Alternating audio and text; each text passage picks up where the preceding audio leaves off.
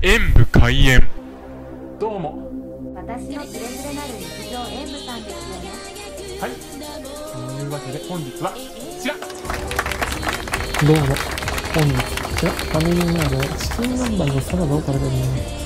あー、鶏肉結構ボリュームありますね。これは美味しそうです。では、では、いただきます。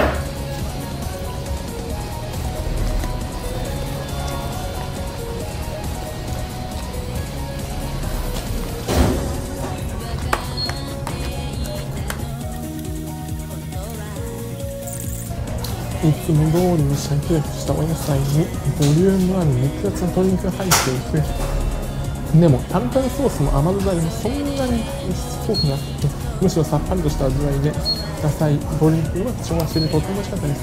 2種類の調味料を味わえるのもいいですね。というわけでこちらも点数とさせていただきますご視聴ありがとうございました。コメントしていただけると嬉しいです。ねですね。